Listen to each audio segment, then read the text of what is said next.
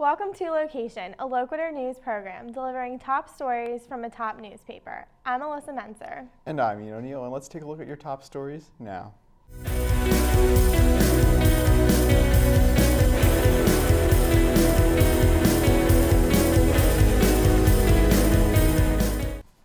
Students across the country are raising awareness to prevent a potential war and genocide in Sudan. On Monday, the Sudan representative from CRS came to talk to a group of students. Let's see what he had to say.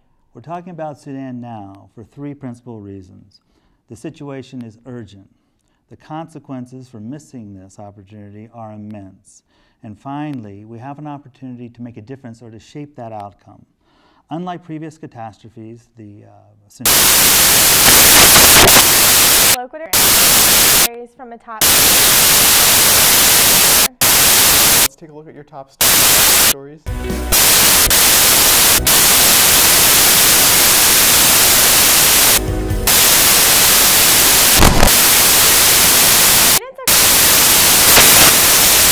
to prevent a war and genocide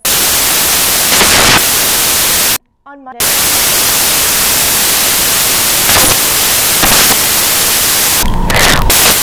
Two locations, local delivering top top.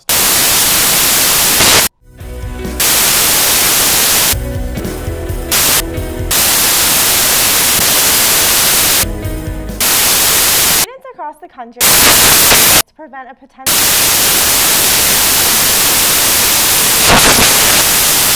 to students. Let's either vote in a referendum to uh, declare their own independence or remain part of a larger united Sudan.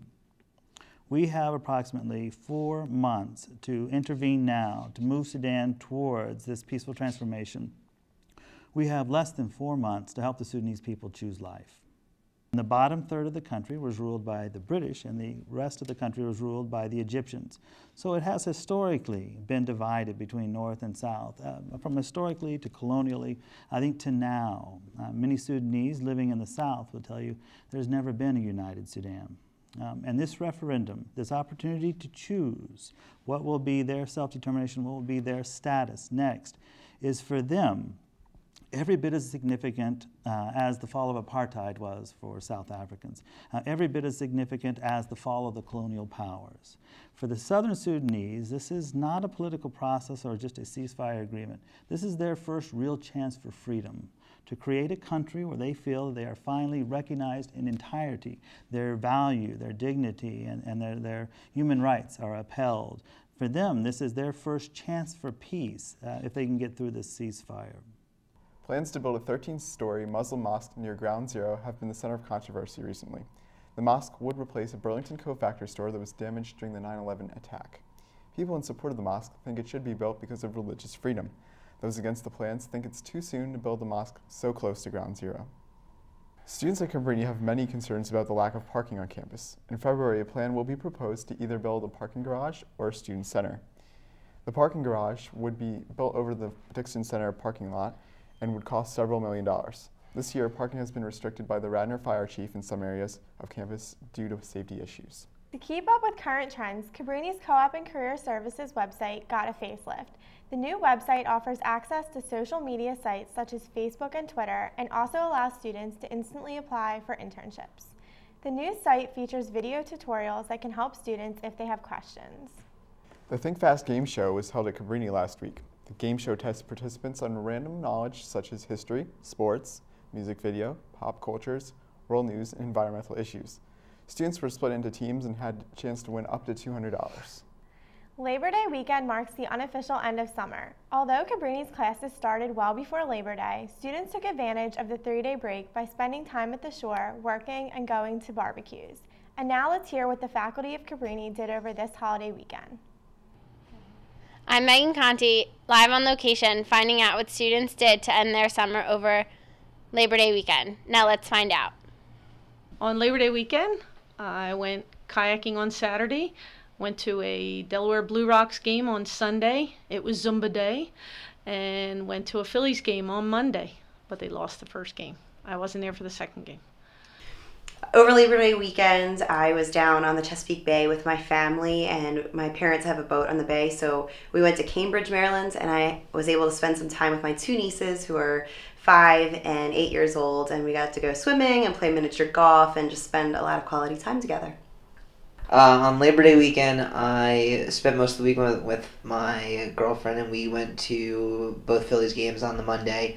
So we got to see them uh, win one. Well, they they lost the first game and then won the second game. So uh, it was a, it was a pretty eventful weekend. Pretty much doing some relaxing and catching up on some rest time that I haven't really had a chance to get uh, over the past few weeks. Well, it sounds like everyone had a fabulous Labor Day weekend. I'm Megan Conti, live on location. Now back to the studio. And now let's check in with Liz for LOQation's Person of the Week. I'm Liz Scopoletti, and today I have the opportunity to speak with Cabrini's new provost, Dr. Ann Skleder. She has been kind enough to dedicate some of her time and answer a few questions that our viewing audience may have. Welcome to LOQation, Dr. Skleder. Thank Thanks you for so having much me, Liz. For joining I'm us. happy to be here. Thank you. Um, could you tell us what first attracted you to Cabrini? Oh, absolutely. It's, it's a long list, but I'll give you a couple of the top reasons.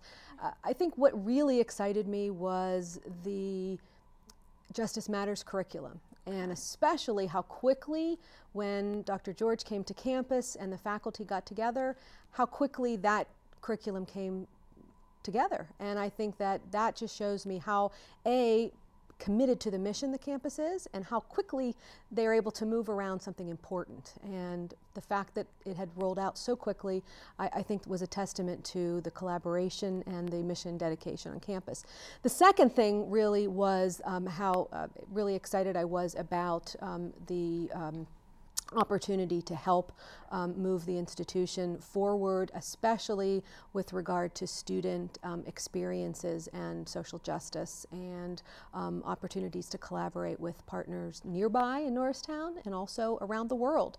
Um, for example, Catholic Relief Services. Um, and probably the third most exciting thing um, was that this is a campus really known for very, very strong undergraduate programs, but also increasingly for wonderful graduate programs. And the ability to help move both undergraduate and graduate programs, work with faculty, um, and st- to, to provide a really good education for students. Those were those are probably the top three. And then, of course, when I came to campus and I met students like you, um, I I thought this is this is the place for me. That's lovely to hear. Thank you very much. Welcome. Now, you have two titles at Cabrini. well, two Two parts of the parts title. of, yes. Right. Provost and mm-hmm. Vice President of Academic Affairs. Now, could you explain the difference to our audience? Sure, it's actually not two entirely different jobs, but at every institution, at every college or university, there is an individual who is the chief academic officer. And that person is the vice president for academic affairs, who works with the faculty to ensure educational, uh, the, the, the education enterprise is sound for all students. Um, at some institutions, that person is also the provost. So it's a different title, which often takes into account things outside the classroom and, and areas. For example, as provost, I oversee the Wolfington Center, which is not per se an academic enterprise, but it, it straddles both worlds of curriculum and outside the classroom. So a provost often has other kinds of duties outside of the academic arena, but is has a primary mission of overseeing. So I'm both the provost and the vice president for academic affairs, but it's one job.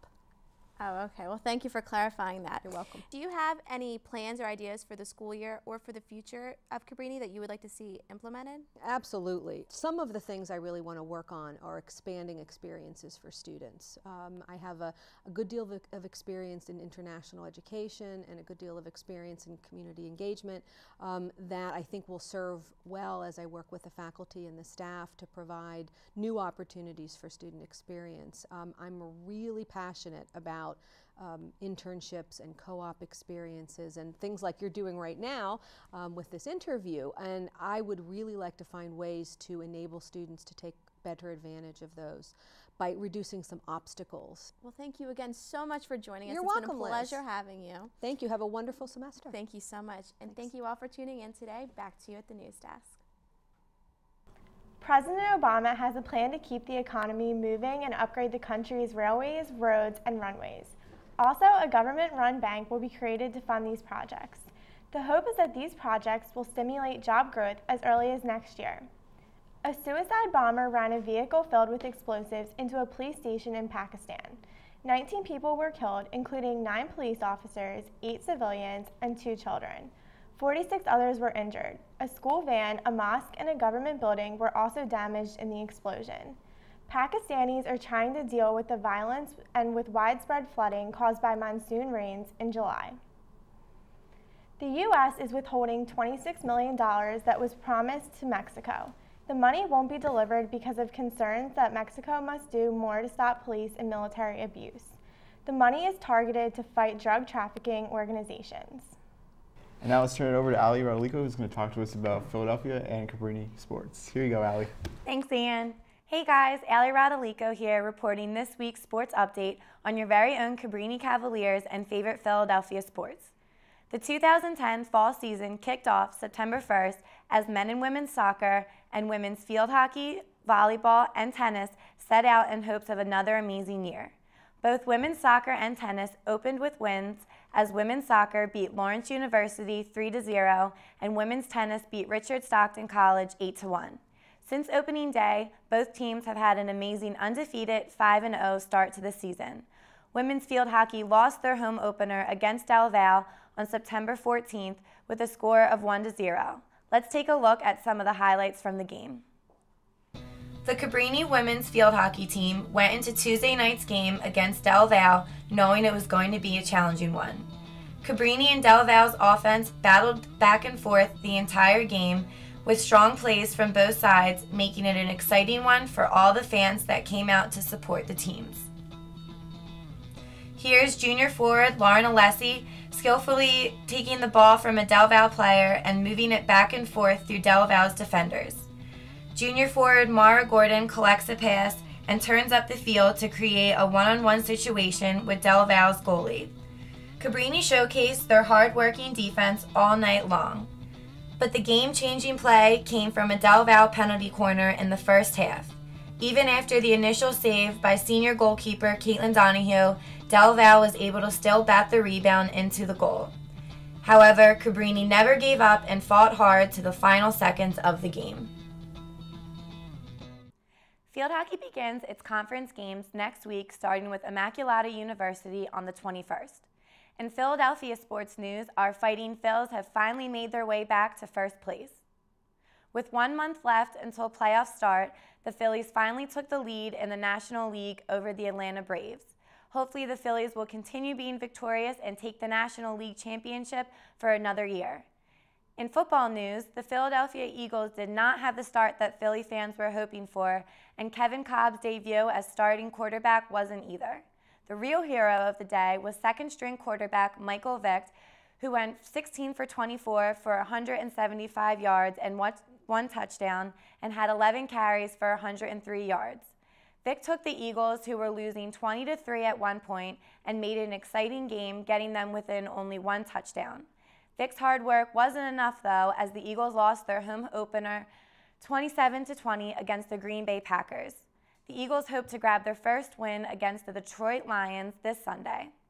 Well, that's all the news I have for today. I'm Ali Rodolico. Tune in next week for all the latest sports updates on Cabrini and Philadelphia sports teams. Thanks, Ali. Now let's check in with Danielle McLaughlin for your entertainment news. Hey guys, MTV's Video Music Awards on September 12th proved to be a night full of surprises. While some people may think the only thing worth watching about the VMAs was the absolutely hilarious Chelsea Handler, others tuned in to watch performances by Eminem, Usher, B.O.B., and Drake. My personal favorite moment of the VMAs was when none other than Lady Gaga asked Cher to, quote, hold my meat purse, unquote. That's right, Lady Gaga wore an outfit made of meat and spared no expense when it came to matching accessories. Should we be surprised? Not at all. If we have learned anything from Lady Gaga, it is to expect the unexpected. Speaking of unexpected surprises, Kanye West performed a song to close the award show. The song he sang had a not so tasteful array of adjectives, which leaves everyone wondering what sort of train wreck Kanye will produce in next year's award show. Now let's check in with WYBF's Joe and Nick for the album of the week.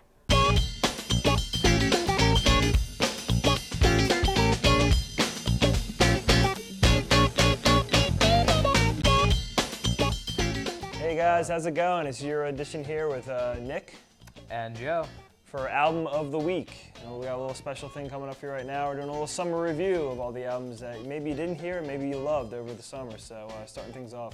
So Joe, uh, great summer for music. You know, Yeah, definitely. Definitely happy with things. So uh, how did it go for you? Uh, I there was definitely some big hits, uh, you know, big hit albums over the summer of 2010. Uh, one of which was uh, Tokyo Police Club's sophomore album, Champ. Uh, Tokyo Police Club, indie band from Canada. Uh, you know, small group. They only had one album before this, uh, and it was an incredible success. Elephant Shell. Uh, Champ follows that up really, really nicely. Sort of a mix between you know, really nice alter- alternative indie rock and electronica. Uh, really good feel-good album actually, and uh, total success in my opinion. A plus. Great, definitely. Another album that I guess you could say could match that, uh, maybe even with popularity coming out, is the new Gaslight Anthem coming out. They're a New Jersey uh, native rock band that just got a little popular. This is although their third album, American Slang, that just came out this summer. But they just, you know, gained their big popularity, opening up with Bruce Springsteen this summer, and uh, they got the good, you know, a little bit of indie, more or less rock, and just, you know, just good riff rock um, band coming out of New Jersey. And just, I'm happy to see actually gain their popularity with this album, American Slang, that just came out this summer. Yeah, So- their, their last album was fantastic, and Mhm. I've been listening to their new stuff. It's really good. Mhm. Uh, second album I want to hit is uh, actually a soundtrack, and it's the official soundtrack to Scott Pilgrim versus the World. Uh, for those unfamiliar, Scott Pilgrim versus the World is a new Edgar Wright movie based on the uh, Bryan Lee O'Malley uh, graphic novel series starring uh, Michael Cera and a slew of others. Uh, it's actually a fantastic movie, and the soundtrack features Beck, Metric, a slew of others, and it's one of the best soundtracks I've ever heard, uh, especially given the whole indie indie movie genre. Uh, it's got some really solid music on there. Um, Sex Bob-Omb. I, I really wish it was a great band and, and an actual band um, because Beck did some great work on it. Yeah, definitely. An album that I just want to bring up was uh, the Jack Johnson To the Sea album, his latest album that just came up, and a huge tour that he followed with. Uh, he followed nationwide, and he also did the Kokua Fest that he's also known for headlining every year over in Hawaii. Um, the album was great. It is another you know, rendition of Jack Johnson with all his fellow bandmates, playing with uh, Zach Gill from American Animal. Uh, Animal Orchestra Liberation ALO was a great album. They also had Ben Harper and G Love, G Love coming in with the album as well, compilations. And uh, just a great album altogether. Definitely some great stuff from Jack. All right, next week I'll be bringing you a very special episode of Album of the Week dedicated to Arcade Fire's third album, The Suburbs. It's one of the albums that we didn't get to hit today, but it's such a fantastic, intricate album that we decided that it needs its own standalone episode. So I'll be bringing that to you next week. Uh, in the meantime, thanks for watching Album of the Week here on LOQation. I'm Joe Cahill. And I'm Nick Benani. Thanks for hanging out, guys. And now back to Danielle with more entertainment news on LOQation. Well, that's all I have for you this week. Tune in next week for more entertainment news. I'm Danielle McLaughlin. Back to you at the news desk. Thanks, Danielle. And thank you for watching LOQation, the Loquitur News program. I'm Ian O'Neill, And I'm Melissa Menzer. and be sure to check us out online at theloquitur.com or on iTunes. I'm Ian O'Neill, and on behalf of all of us here at LOQation, I hope you had great news this week.